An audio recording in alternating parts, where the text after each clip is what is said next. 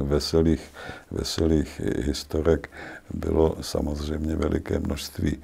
Já nevím, kterou bych teď jmenoval, ale snad hm, mě napadá jedna, hm, eh, která možná trošku ilustruje tu situaci, jaká byla v tom eh, trvalém každodenním souboji, souboji s tou státní policií.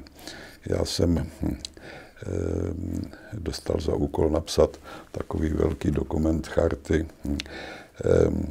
k desátému výročí její existence, to znamená v roce 87. A mělo to být takový oslovení občanů, oslovení společnosti.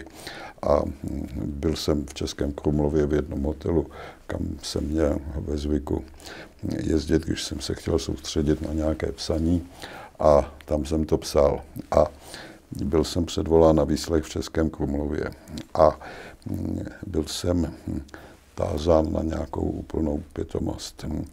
Jestli znám nějakou francouzskou novinářku nebo italskou a bylo ticho a on se furt díval na hodinky a furt ze mě páčil a já nevěděl o kom a proč mluví. A pak jsem to celé pochopil.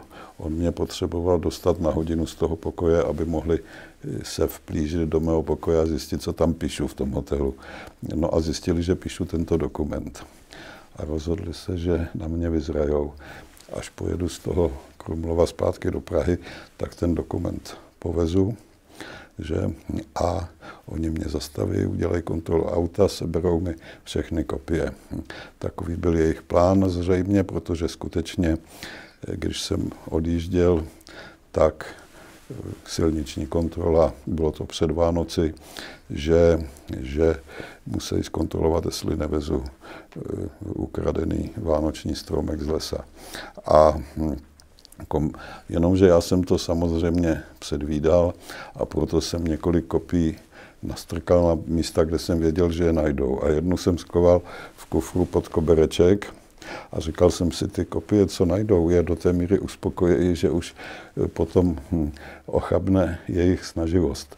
A přesně to se stalo a eh, sebrali ty všechny kopie, odvezli mě do Budějovic na výslech a tak dále.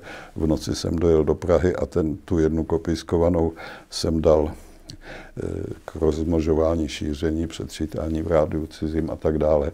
A hm, při prvním dalším výslechu říkali, co, říkali policajti, co jste nám to udělal, pane prezidente.